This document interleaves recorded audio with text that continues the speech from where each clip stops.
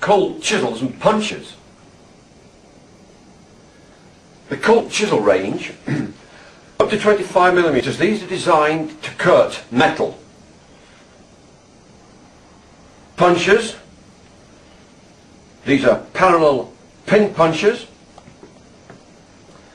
And then in the masonry range of chisels, we have masonry, uh, brick sets or brick bolsters, uh, flooring and electrician's chisels.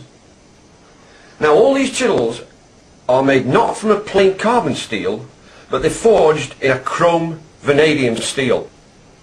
So they're high quality, they last a long time. They've got a yellow plastic paint so that they're easy to see, difficult to lose.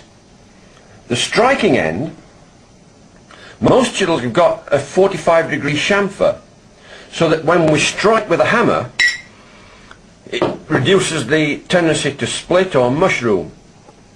These are different in that they have a curved, actually a parabolic curve to the chamfer, which has better resistance to mushrooming and chipping.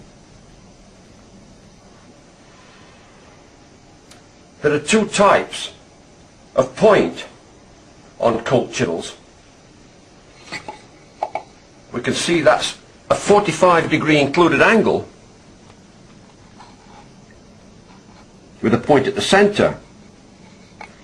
But if we take a brick bolster, it's flat on one side with a 45 degree point as a cutting bevel. This allows accurate cutting